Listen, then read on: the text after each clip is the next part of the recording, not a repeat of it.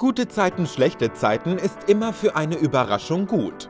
Während einige Schauspieler den Kollekiez verließen, feiern andere Darsteller wie zum Beispiel Tanja Seefeld und Patricia Bachmann ihr großes Comeback in der Serie. Folgt schon bald das nächste?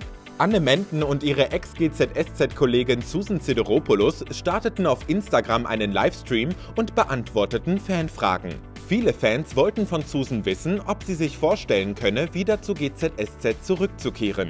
Und Susans Antwort auf diese Frage überrascht.